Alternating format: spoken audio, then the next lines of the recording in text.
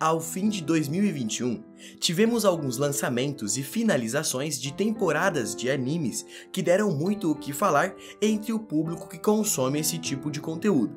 E é por isso que no vídeo de hoje nós falaremos sobre quais foram os melhores animes do ano de 2021. Eu sou o Camus, seja bem-vindo aqui no Radar, já deixa o seu like e bora para esse vídeo.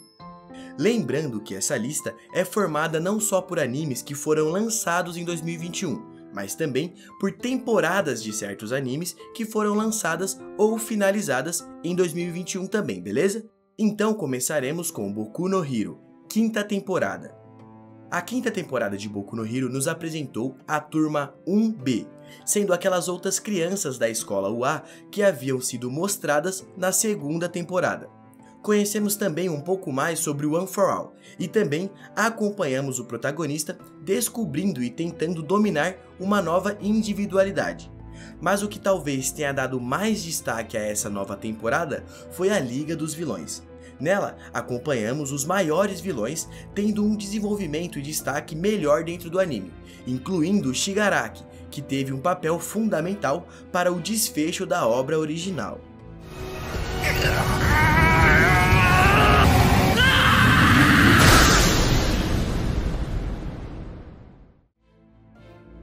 Doctor Stone, segunda temporada. A segunda temporada de Doctor Stone dá seguimento à história de Senko, um adolescente que viu a Terra inteira ser petrificada num fenômeno misterioso e acorda milhões de anos depois. Senko é extremamente inteligente para um garoto da sua idade, então ele resolve que vai reconstruir a humanidade através da ciência e descobrir o que causou esse fenômeno da petrificação. Na continuação dessa história, vemos o garoto cientista descobrindo que há civilização humana nesse mundo novo de pedra e trabalha em conjunto com eles para descobrir o que aconteceu, se proteger de um inimigo muito poderoso e criar do zero aparelhos tecnológicos para avançar milhões de anos a ciência em tão pouco tempo. Eu vou proteger esse último registro de canção para você com o poder da ciência. Vem cá. Assim eu me apaixono, cara. Não se empolga não, minha filha. Shaman King A cada 500 anos, os xamãs têm a habilidade de se comunicar entre o mundo dos vivos e dos mortos e competem entre si para se tornarem o Shaman King. Shaman King é o xamã que pode contatar o Rei dos Espíritos para transformar o mundo, e um jovem garoto chamado Yu Asakura está entre os que almejam esse posto de Rei dos Xamãs. O anime Shaman King tem um total de 13 episódios em sua primeira temporada e está disponível na Netflix, sendo um anime muito lembrado também pela sua incrível trilha sonora.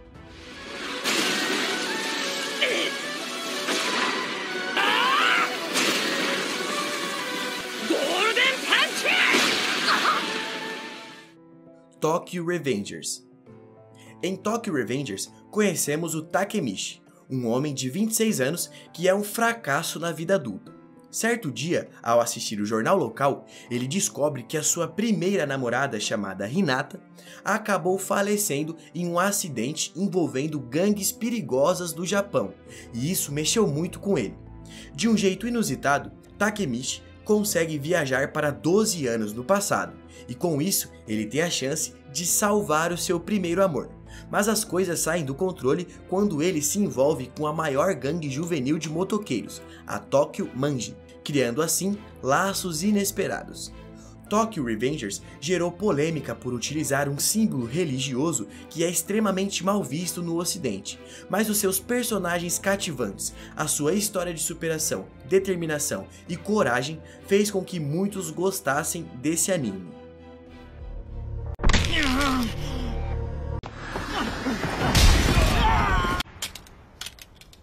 O que é que você tá fazendo? Takemichi! Jojo Stone Ocean. Jojo Stone Ocean finalmente nos apresentou uma Joestar mulher com as habilidades de Stand. Ambientada em uma prisão de segurança máxima, Jonai foi presa injustamente e desperta o seu Stan após receber um objeto estranho em nome de seu pai, ninguém menos que Jotaro Kujo. Mas não é só ela que consegue essas habilidades dentro da prisão. E logo ela percebe que corre um risco muito maior do que ficar presa por 16 anos.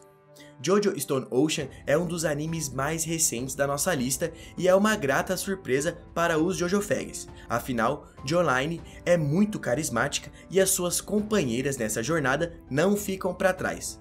Todos os 12 episódios da primeira parte dessa temporada foram disponibilizados de uma vez lá na Netflix, tanto dublado quanto legendado, e é uma ótima indicação para você que ainda não assistiu. Olha só, Grace, você me disse que tudo precisa ter um nome, não disse? Eu vou dar um nome pra isso também. Stone Ocean. Esse é o nome. Demon Slayer Mugen Train. Considerado como a primeira parte da segunda temporada, essa é uma adaptação dos acontecimentos do filme de Demon Slayer, levando o mesmo nome para que os fãs que não assistiram o filme pudessem seguir a mesma história sem perder os momentos cruciais dela. Aqui acompanhamos o Tanjiro, o Zenitsu e o Inosuke embarcando num trem do infinito para encontrarem Kyojuro, o Hashira das Chamas, a missão dos caçadores era encontrar um Oni que estava fazendo passageiros sumirem do trem, mas tudo desanda quando eles têm que lidar com uma lua inferior e uma superior, resultando em um momento fatídico. Sabemos que houve a repetição, tanto nessa parte do anime quanto no filme, mas ela é fundamental para que a temporada de episódios inéditos fosse completamente entendida por todos os fãs da obra, trazendo nessa primeira parte um episódio e algumas cenas inéditas.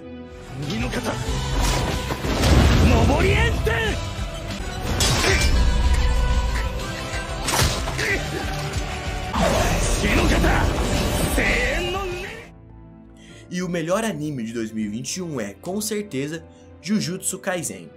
Jujutsu Kaisen nos apresentou um universo repleto de feiticeiros, maldições, energias amaldiçoadas e grandes habilidades de combate. Nessa primeira temporada, conhecemos o Itadori, um jovem do ensino médio que vive normalmente até perder o seu avô e conhecer Megumi Fushiguro, um jovem da mesma idade, só que um feiticeiro de Jujutsu. A vida de Itadori vira do avesso quando ele come um objeto amaldiçoado, sendo simplesmente um dos 20 dedos do Rei das Maldições. A partir daí, a história se desenrola e conhecemos outros personagens muito marcantes e carismáticos, como Nobara Kushizaki, Satoru Gojo e muitos outros, além dos vilões friamente perigosos e maléficos. Jujutsu Kaisen começou a ser lançado em 2020, mas o seu último episódio foi exibido em 26 de março de 2021, por isso ele entra nessa lista. Com lutas eletrizantes e uma ótima animação feita pelo estúdio Mappa, a obra adaptada do mangá de Gege Akutami ganhou destaque como o melhor anime de 2020, mesmo sem ter sido concluído naquele ano. Logo, ele pode ser considerado como o melhor anime de 2021 também.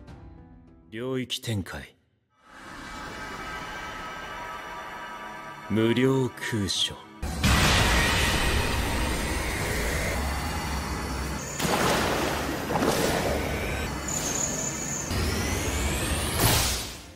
como menção honrosa, eu gostaria de citar mais alguns animes que são Skate the Infinity. Esse é um anime muito interessante de esporte que conta a história de dois amigos que se conhecem no colegial e criam uma relação forte de amizade a partir do skate. Megalobox 2. Nessa segunda temporada de Megalobox, vimos novamente Joey, o campeão da primeira edição de Megalobox. Em três meses ele conseguiu chegar ao topo dos lutadores, mas agora, sete anos depois, Joey volta a lutar em ligas ilegais, e aí acompanhamos as suas incríveis aventuras. E esses foram os melhores animes do ano, na minha opinião, é claro. Comenta aí se ficou faltando algum anime que você gostou e foi lançado ou saiu alguma temporada em 2021. E também comenta aqui qual que é o seu anime favorito desse ano. Não se esqueça de deixar o seu like, ativar o sininho de notificações para não perder as próximas novidades aqui do radar e principalmente clique em um desses vídeos que estão aparecendo aí na sua tela para conferir mais o nosso conteúdo, beleza? Até a próxima e fui!